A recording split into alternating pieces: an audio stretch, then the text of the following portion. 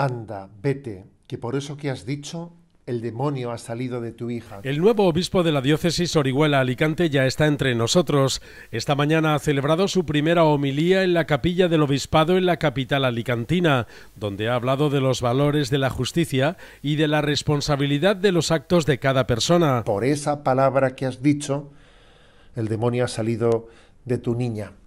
Aquí hay una enseñanza, y la enseñanza es que no hay arma más poderosa frente a la acción de Satanás que la humildad, que la humillación. El claustro del Palacio Episcopal de Orihuela ha acogido esta mañana la presentación ante los medios de comunicación de Monseñor José Ignacio Munilla, donde se ha detallado la ceremonia de toma de posesión que tendrá lugar este sábado 12 de febrero. Va a haber una gran fiesta.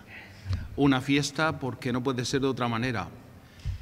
Lo que estamos haciendo es algo histórico.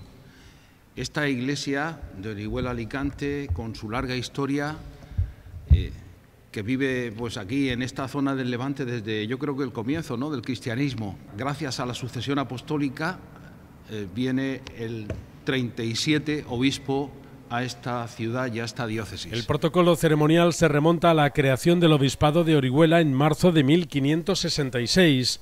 La entrada pública de Monseñor Munilla será a lomos de la mula blanca Bartola y volverá a convertir a Orihuela en un enclavado histórico recuperando una tradición que a día de hoy solo se conserva en Sigüenza y en Orihuela. Esta tradición sigue tal cual se inició en aquel siglo XVI. Por lo tanto, como no puede ser de otra manera, Orihuela el día 12, la ciudad de Orihuela dará la bienvenida al nuevo obispo, al nuevo prelado don José Ignacio Munilla.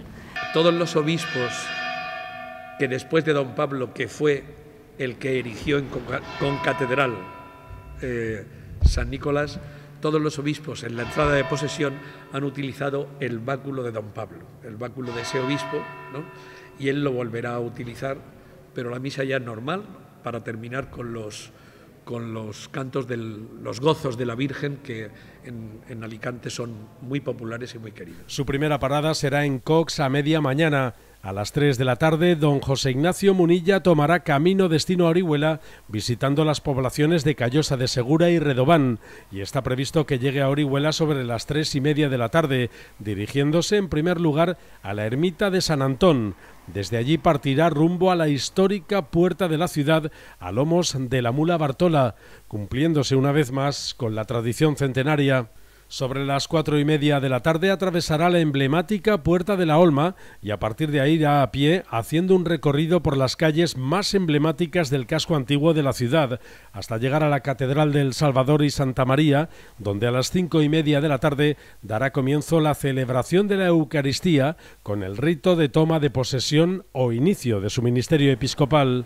Le pido a Dios, eso sí, que al montar encima de la mula, no deje de ser consciente de que sigo llamando a ser como el borrico que lleva el peso de la cruz de Cristo, sobre sus lomos.